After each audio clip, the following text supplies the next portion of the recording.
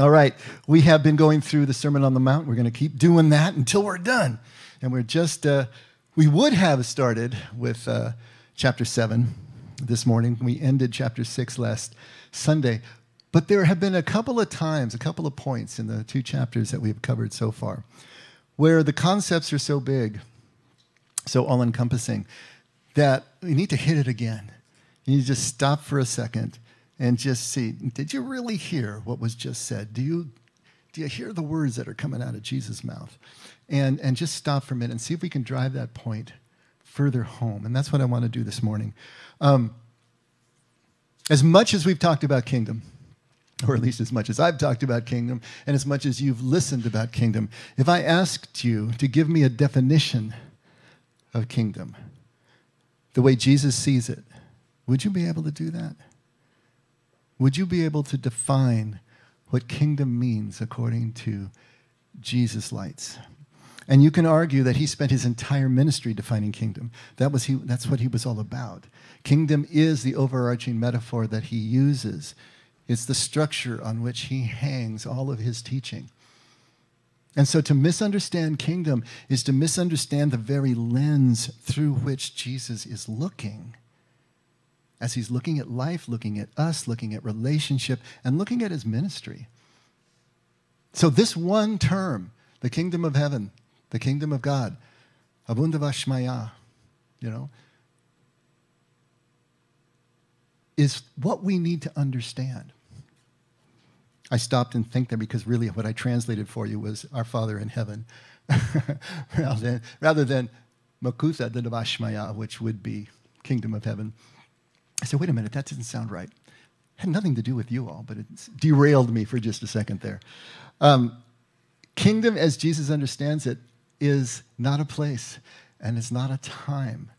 It's a state of being, it's a quality of life that begins whenever we just acquiesce to allow ourselves to experience what the moment really holds, to be present to God's presence is the kingdom of God and everything that that entails.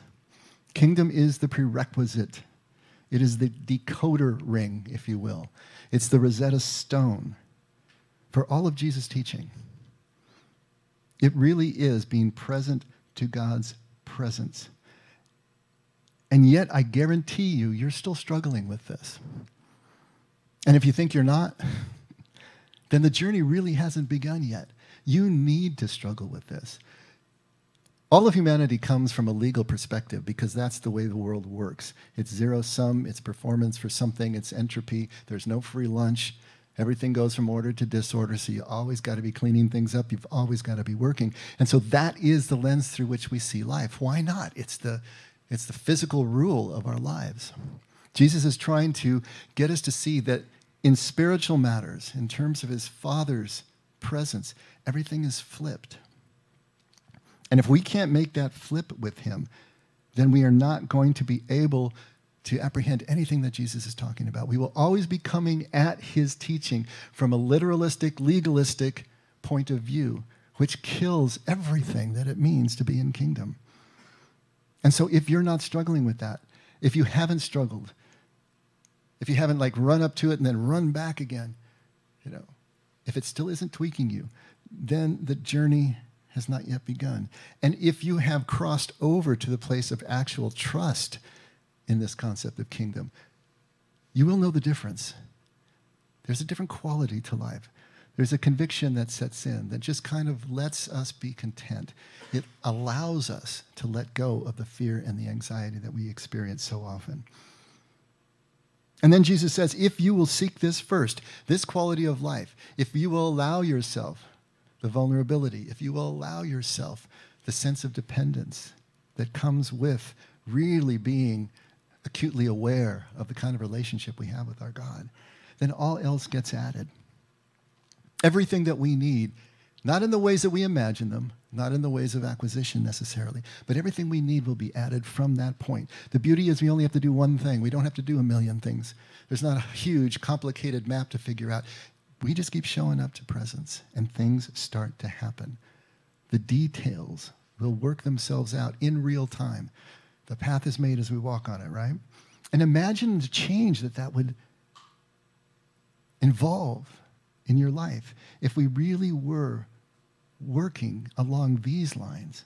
It flies in the face of everything the world works. That's why it's so difficult for us to apprehend. And it flies in the face of everything that we know or think we know from a legal point of view. But Jesus says the waiting is over. The waiting is over. The kingdom is here. The kingdom is now. Mark 1:15. First thing he says in the Gospel of Mark. That means the kingdom is not fixed in time or space. It's not a place, and it's not the afterlife, it's not a when, it's always now. It can only and ever and always be now. It's whenever we decide to fall into that quality of awareness.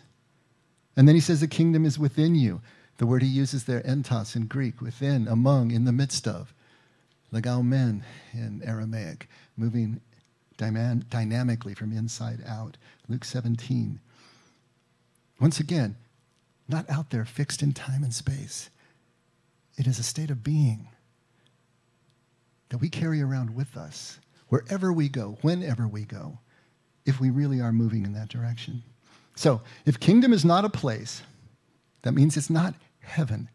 We think of kingdom in the, in the modern West as heaven. It's not heaven. It's not a place. It's not afterlife. So it's not future, not time or space. If we can actually start to get that concept, it changes everything. Changes everything about the way that we experience life. Now, what brings us in or takes us out of kingdom? Well, the first thing Jesus said was, You got to be born again. You want to be in kingdom? You got to be born again. And of course, we have a million different definitions of what that means. But the simplest is that we are born again to a new way of seeing. Everything that we had built up in our lives to that point that is our security, that is our reliance, we let go, we let fall. And then whatever's left, left, I guess as Sherlock Holmes said, right? When you've gone through every all the impossible, you know, whatever is left, however implausible must be the truth. It's kind of like that. You let go of everything. What is left? No matter how amazing it would seem that God's love is this inclusive, that God's love is this absolute, it must be true. To be born again to that is to let everything else go and move into this new place. What did Jesus say would take you out of kingdom? Well, he said, if unless your righteousness exceeds the righteousness of the scribes and the Pharisees, you can't enter kingdom. Because as long as you are equal with their righteousness, which is all legal, just following the law to the nth degree, never graduating into beyond the law, beyond mere obedience, you can't enter. So he's trying to get us to, again, take that normal viewpoint and turn it around 180 degrees. And he said, unless you can become like one of these children, you can't enter the kingdom. And the child is the epitome of that born againness that we were just talking about. Jesus is very poetic in this, right? You must be born again. Your righteousness must, exceed what you normally see every single day of your life. You must become like one of these. Paul is much more prosaic, right? Paul just says, hey, man, you know, if you're a murderer, if you're a fornicator, if you are evil, he doesn't say evil exactly. He says, if you're envious, if you're jealous, if you're a gossip or a slanderer, you're not going to get into the kingdom. Now, that all is just to blow me away. How can Paul put out a laundry list like that that puts murderers and gossips on the same plane? How does that work? How could that possibly be? Because we're thinking legally. Once again, we're thinking, oh, being a gossip damns us to hell and keeps us from heaven because we're still thinking of the kingdom as heaven. But as soon as you translate kingdom back into what Jesus is talking about, a gossip is just as surely out of the connection, out of the quality of life, out of the type of relationship that kingdom is all about as a murderer. You cannot live this quality of life and be so disconnected from your fellow brothers and sisters that you would slander them, that you would treat them this way. It is not possible. Because it's not obedience that gets us into the kingdom, it's obedience that flows from the experience of kingdom. There's a huge, huge difference here. Our behavior doesn't damn us or save us at all. That's a legal attitude. Our behavior, though, does allow us to begin to see God's presence everywhere, in everything that we do. That's very different as well. This whole grace versus works debate that is always going on perennially in the church, that just evaporates in the face of all of this. Because works aren't the cause of grace, works are the effect of the experience of grace, just as we said. Once again, back to front, Jesus always trying to get us to see things. And if we can start to see this idea of kingdom the way Jesus does, then God's love, God's perfect love, remains uncompromised. And we start to understand that it's always there. There's never a moment that it's not. It precedes us wherever we go. It's simply waiting to be seen. It's waiting for us to realize that it is there, that we can move into that, we can be part of that. Because legally, we think if we just do good, if we do right now, then we get to go to heaven later, right?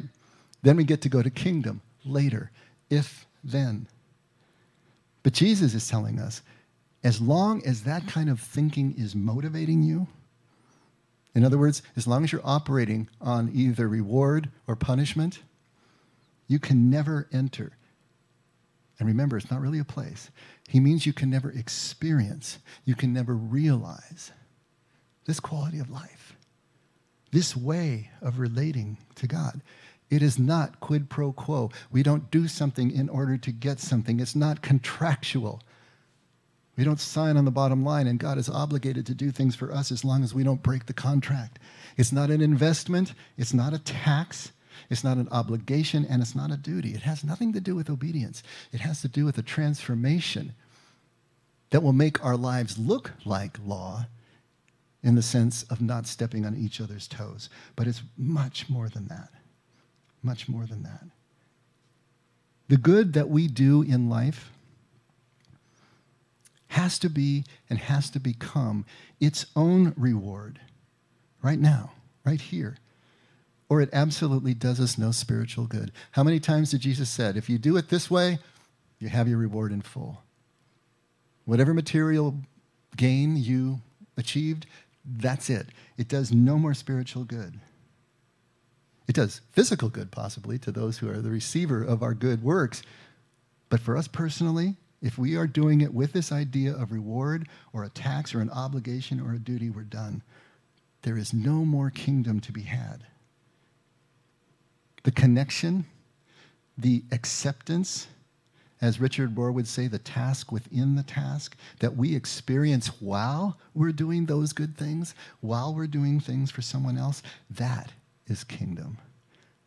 The acceptance, the connection that we experience is kingdom. We are kingdom when we are accepting and connecting in these moments. There is no more reward than that. Because kingdom is always here, kingdom is always now. That's it, it's self contained. Can that be all right with us? Can that be enough for us? See where the struggles are? When we learn to love that connection, that acceptance more than our own lives, then we are kingdom itself. Jesus said there's no greater love than to lay down your life for a friend. And that doesn't mean to die physically. It means to lay down your ego position in a billion different ways, in an unlimited number of ways, in favor of relationship. Because you love that relationship so much, nothing will keep you from it. Knowing this deep meaning of kingdom changes everything.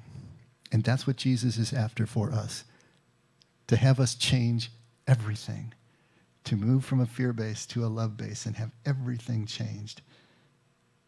But it can't do that until it's experienced. This mental understanding, what we're trying to do right now to get a mental concept, is not going to be enough. If this concept seems right enough to you, if you think that maybe you could survive trying it in your life, then when you go out that door, implement it, experience what it does for you, then you're moving on the road to kingdom. But only then. Thinking about it is all just preparation. It can show us the door, but we've got to walk through. And Jesus is hammering this point home at every opportunity. Every frame of the Gospels is Jesus trying to get this across. And once you see kingdom in the way we're talking about, you see Jesus working so hard in things that seem unrelated, but they, they come right back in some way, shape, or form to this aspect of living life changed. Take a look. We read these last week, but let's just go over them again because it's important for us to see. Matthew 5 25. For this reason I say to you, do not be worried about your life as to what you will eat or what you will drink, nor for your body as to what you will put on. Is not life worth more than food, and the body worth more than clothing? Now, we said these are four different verses, four different concepts, illustrations that Jesus gives us. But each one, as I was pointing out, and if you're looking at your inserts, there is something tangible that we can do if we really are truly engaged, if we are desirous of experiencing this kingdom. The first thing we said was to look deeper. Look beneath just the facade. Look beneath the skin of life around us.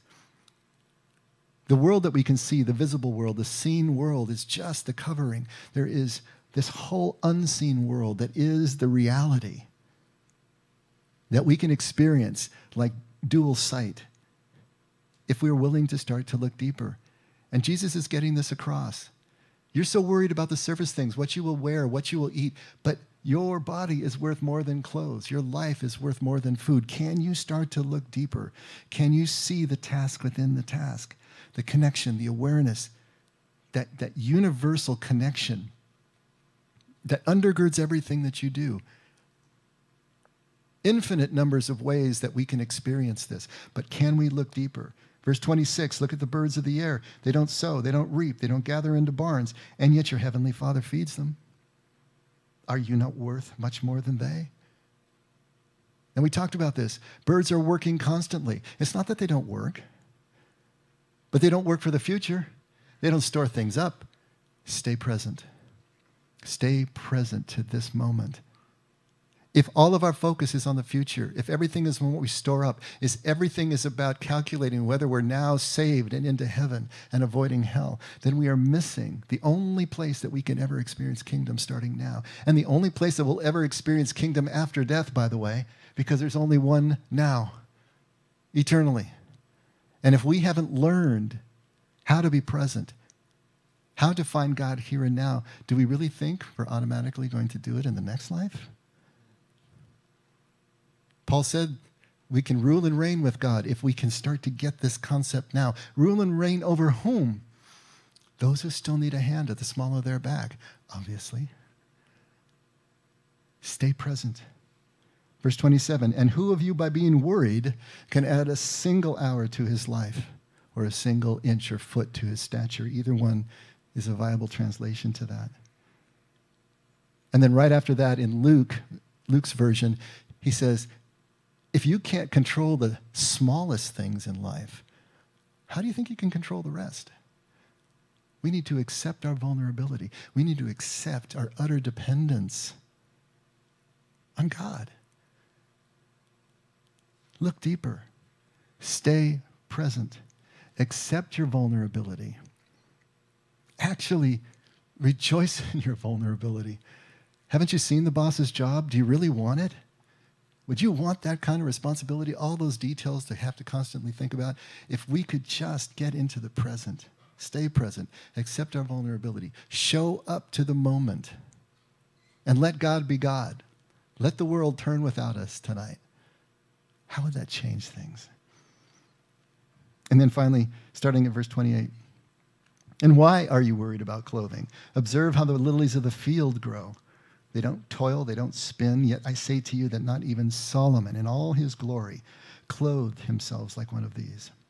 But if God so clothes the grass of the field, which is alive today and tomorrow is thrown into the furnace, will he not much more clothe you, you of little faith?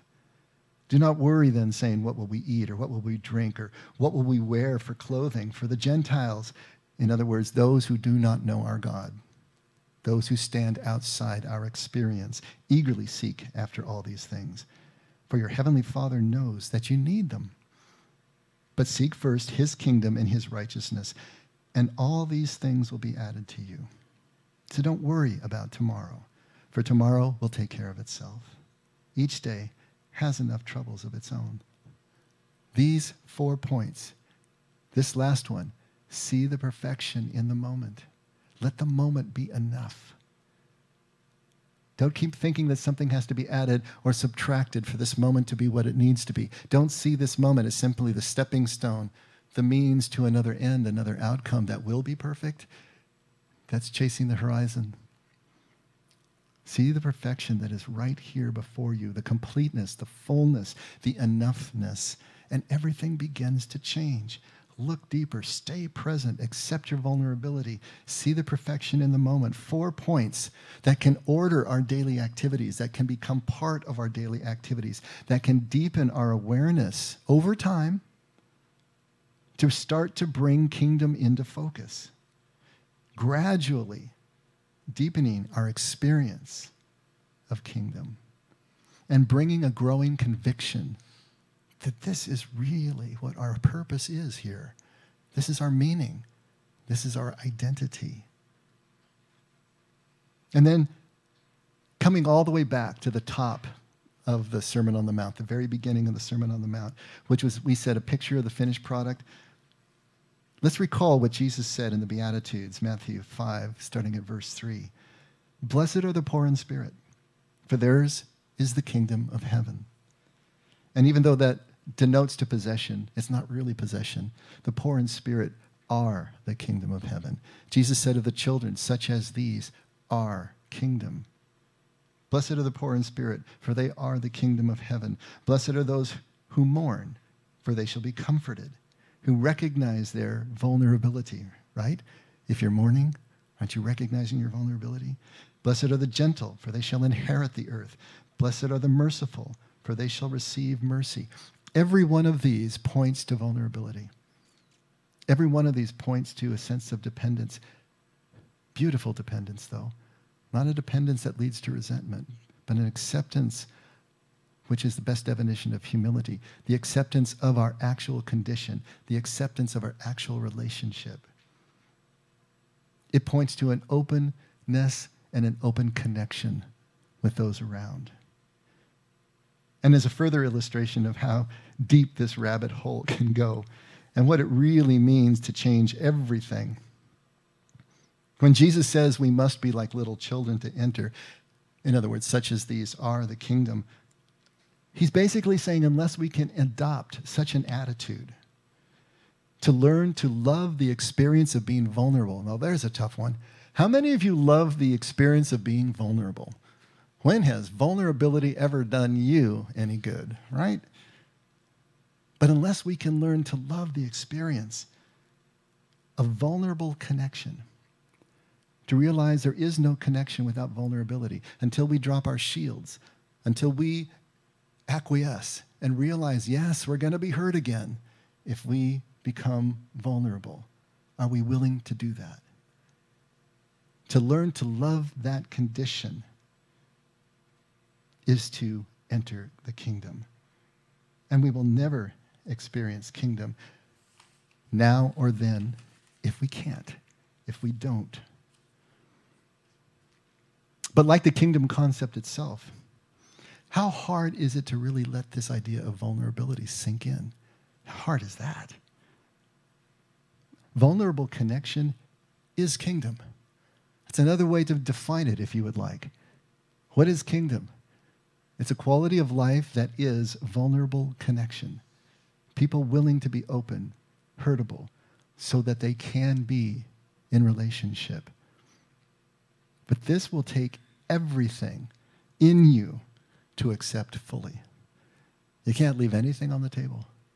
Jesus said, You got to be willing to sell everything that you own if you want to follow me. Now, that doesn't mean that some things, some of those things won't come back to you, but you don't know which ones. You got to be willing to let it all go, to become completely vulnerable again, completely dependent again.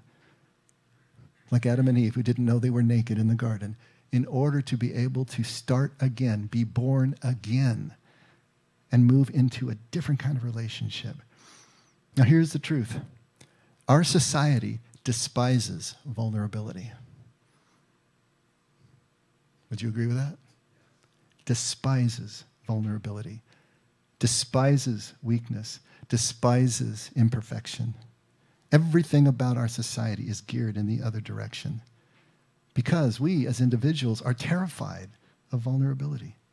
We work our entire lifetimes to try to erase any kind of imperfection, imperfection, any kind of vulnerability, anything that would make us less than in our own minds, right?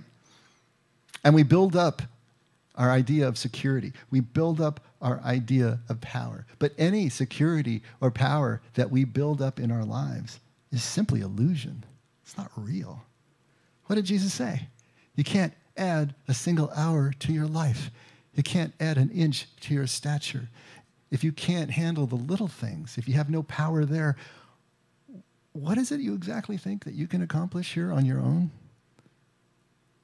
To accept this is completely different, but it is terrifying for us to realize that we are just helplessly sitting on this ball spinning in space. Can't control much of anything. We're just, in fact, you know what the best thing we can do is? Enjoy the ride. you're on a ride, you know? Maybe you think your seatbelt's on, but you're on a ride. And that's all we can do. What do you really think that you can create in terms of your own power, in terms of your own security? We can enjoy the ride. What Jesus is saying is that we need to stop. We need to quiet down. You know the four S's that we've been talking about?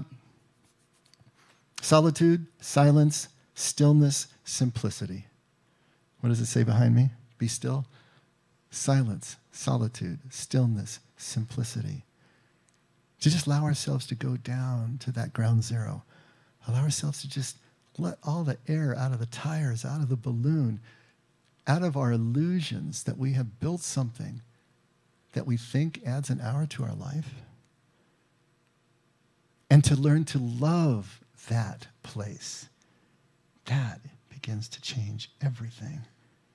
We got to deeply consider our actual relationship to life, to God, to each other.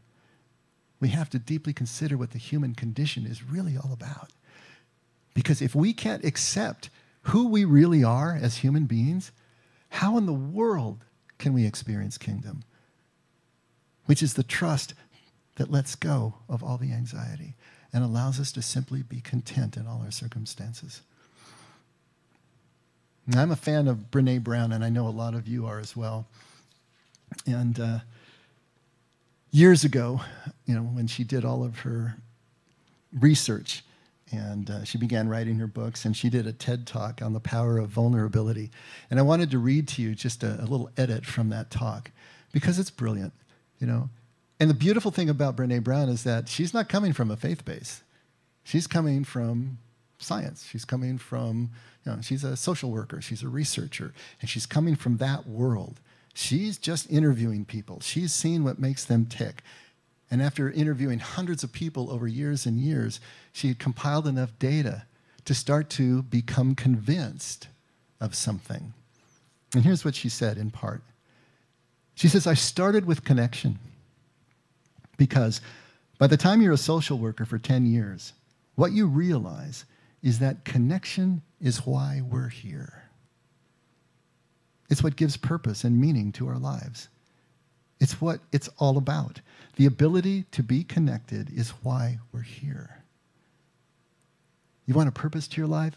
Have you ever defined what the purpose of your life is? I think she did it right there. But she didn't do it in, well, she did it in her own isolation. She had to do the work to come to the doorstep of what she believes. But she could have just read the Gospels as well if she wanted to.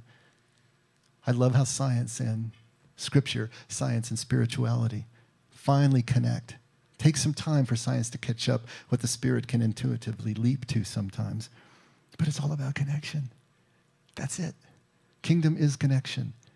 And you can't be connected without being vulnerable. So what does she say? But very quickly, so she knows that connection is, is it, right? But very quickly, I ran into this unnamed thing that absolutely unraveled connection in a way that I didn't understand or had never seen. And it turned out to be shame. And shame is really easily understood as the fear of disconnection. That's not bad. The fear of disconnection. Is there something about me that if other people know it or see it, that I won't be worthy of connection? It's universal. We all have it. This I'm not good enough, rich enough, beautiful enough, smart enough, promoted enough. It was excruciating vulnerability. This idea of, in order for connection to happen, we have to allow ourselves to be seen, really seen. Now, here's what I can tell you that it boils down to. And this may be one of the most important things that I've ever learned in the decade of doing this research. What shame is, how it works.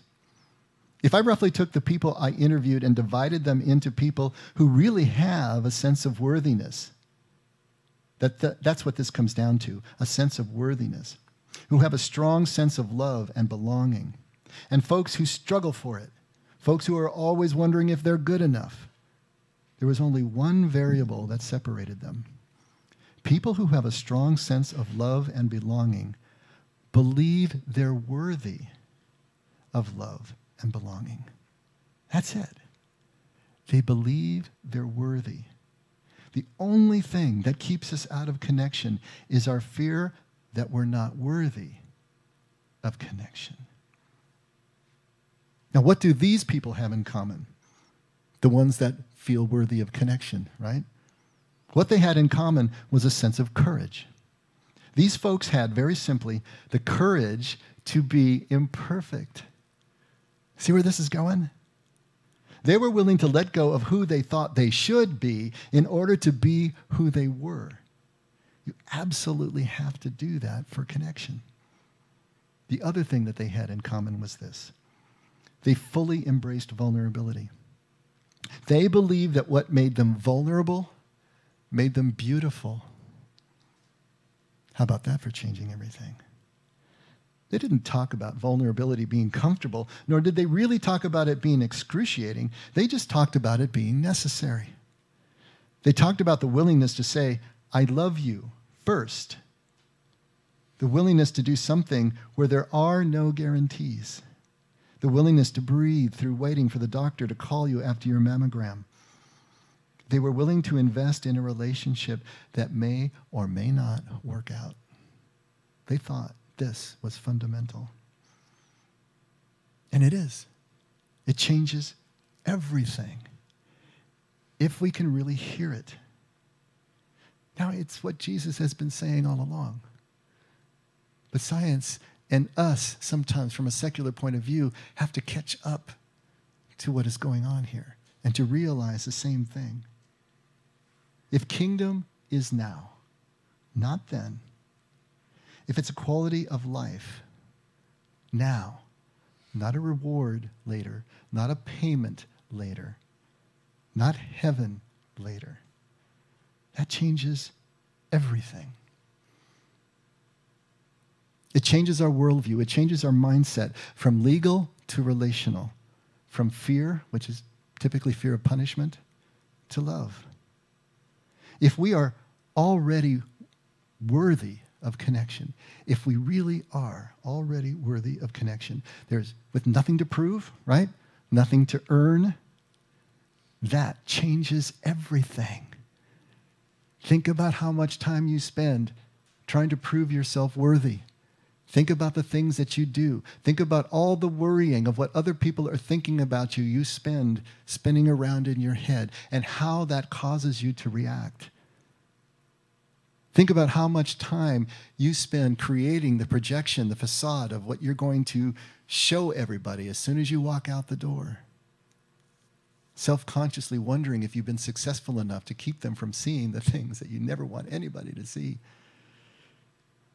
But if we're already worthy of connection, that changes everything. If we can start from a point of abundance, not need, exactly as Jesus is teaching us, if we can stop striving for what we already possess, oh my gosh, that changes everything.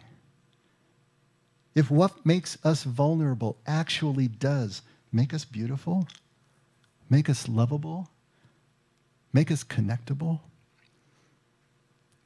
I guarantee you, think about people from your past. Think about people, your friends in school, growing up. The most lovable things about them, the things that make you smile, the things that you want to tell other people about, are going to be the weirdnesses of them. It's going to be their imperfections. It's going to be their eccentricities. It's going to be the way they snorted when they laughed. It's going to be whatever. But those are the things that connect us as human beings. Think about someone that you think is absolutely perfect. Because as long as you can think they're absolutely perfect, you really don't have that much of a relationship with them. You can have that kind of relationship with an author or a politician, maybe. Well, maybe politician is out the door. But you won't be close to them because as soon as you get close to someone, you see their imperfections. And you're either okay with that and you can live through that and you can breathe through that and you can see it as a reflection of your own imperfections or not. And if you do, if you can, that's what makes us beautiful, lovable, connectable, that we're peers that we can actually share this existence with each other. If we can do that, if we believe that what makes us vulnerable makes us beautiful and lovable and human, then we will be able to accept and love and connect with imperfect people around us and not a moment before. And beyond that, we'll be able to know how God loves us as imperfect people we will understand how this love really works, and that changes everything. Now, children do this all naturally because they can't do anything else. They're kids. They haven't learned what adults know yet. They have no concept of past or future. Everything is now. Ever tried to tell a two year old or a three year old that you're going to Disneyland tomorrow? Don't do that. They will be following you around. Are we going now? Are we going now? Are we going tomorrow? Now? Tomorrow? Now? Eh, there's no tomorrow. There's just now. No concept of past or future. No concept of shame. They don't know they're naked. I remember when Brennan was little, you know, I actually mourned the first day he closed the bathroom door to go pee. he's not in the garden anymore. He knows he's naked, you know. Kids don't know this, they have no concept of imperfection. There is this ongoing ad. It's the longest ad in the world, but it's from Shriners Hospital that Marion and I have been seeing. And but you know what? I love it every time I see it. It's all these little kids, you know, that are in the hospital, and of course they're soliciting funds. But there's kids with, with one leg gone, and this little girl with a pogo stick for a leg is running down the hall of the hospital, just ah, having the best old time. They have all the different types of diseases, and they're smiling, shaved heads, they're smiling, they're laughing. You know, and this little little kid is saying, "It's the best part of my day when I go to the hospital." Because I get to see my friends and I get to see the doctors who take care of me as his mother has to lift him from the bed into the wheelchair and from the wheelchair into the car. They don't know they're imperfect. They're just being who they are. They have no shame. These things that are imperfect in them, they don't calculate to make them unworthy of connection. They will as they get older, but they don't right now. Kids are blissfully happy until we teach them not to be. And that's the truth of it. And that's what Jesus is trying to point out to us. Don't keep the children from me. Let them come, for such as these are kingdom. Don't you get it? Don't you see why I'm here? It's not to keep these things at bay. It's not to build some ivory tower edifice. It's to roll in the dirt with these kids and enjoy this moment right now because this is kingdom. It doesn't get any more kingdom than this. Whatever you're looking for, stop. If you can't find it here, you won't find it anywhere or any when. It is not possible. And so the question I suppose we need to ask ourselves is can we re enter this childlike state, which is the definition of being born again? What's left, right? Can we re enter that childlike state that has, doesn't have the concept or the fixation, at least, on past and future and shame and imperfection? Yeah, we can do it. If we couldn't, Jesus wouldn't have been barking up that particular tree. He wouldn't be leading us down this path. He doesn't tell us we can do something only to be frustrated. And he's not telling us that only he can do something and we just have to come under his covering. He's telling us you need to engage it's to your advantage that I go so that you can interface directly with the Spirit and find the empowerment that allows you to do exactly this to put down your fear, your risk enough to take the first tentative steps that'll move you into the experience that changes everything. Yes, we can do it, but it's not going to happen all at once. It's okay if kingdom has been a moving target for you. It's okay if you run out into the surf and as soon as the wave comes, run back to your mom's lap. It's okay. That is the experience of it because it doesn't happen all at once. It happens bit by bit, choice by choice, awareness by awareness, moment by moment as we choose, as we experience. We're just adding more and more to the sense of conviction that we are growing from inside out.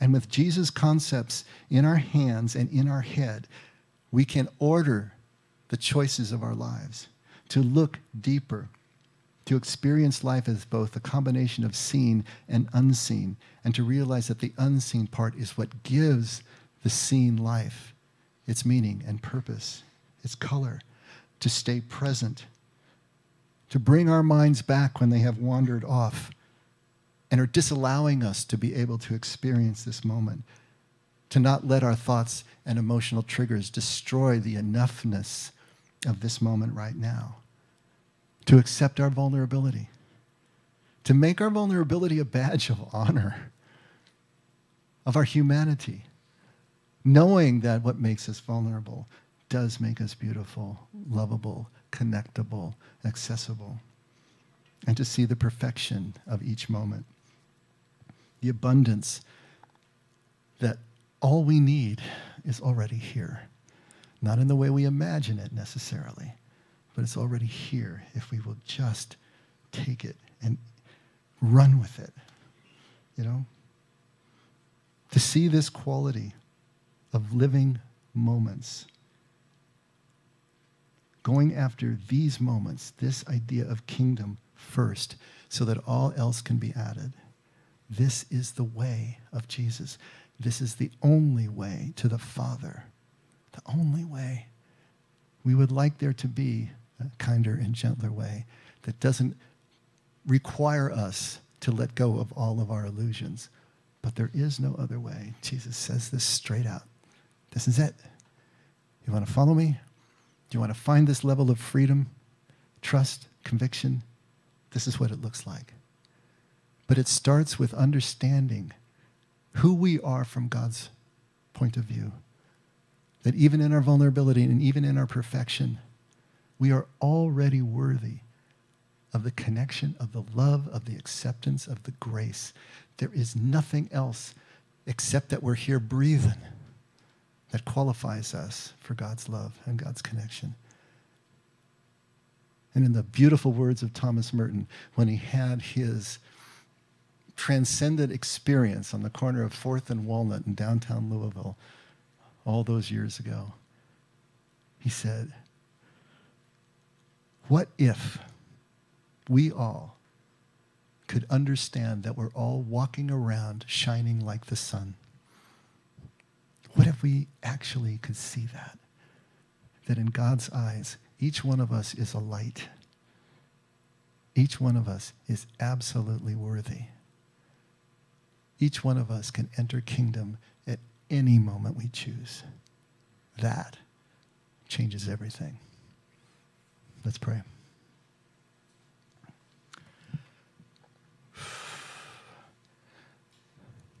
Father, it just seems too much.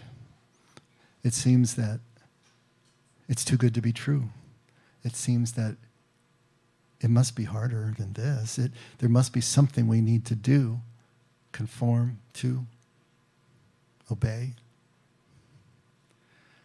When we move into that frame of mind, when we feel our thoughts going into that place, when we feel the fear or the self consciousness creep up because we're afraid again of our inadequacies, help us to bring something to mind that we've talked about here this morning, something to mind that Jesus talks about constantly, that will give us just the first toehold to be able to move in a different direction, to choose beyond our shame, to choose connection even before we're fully believing that we're worthy of it, but to choose it anyway so that we can experience that we are. Whatever it takes, Lord. However frightening it may be at first, that's what we're praying for. Those moments where we realize that we have a choice to make and we can choose the connection of kingdom. And we will not be denied by you. To know that. That's our prayer, Father, this morning. And thank you for living this reality eternally so that we can approach you anytime that we are fearless enough. Your love, your constancy, and realizing that any love that we see, any love that we can be a part of, engage, is only because you did it first. And we pray all of this in Jesus' name. Amen. Let's all stand.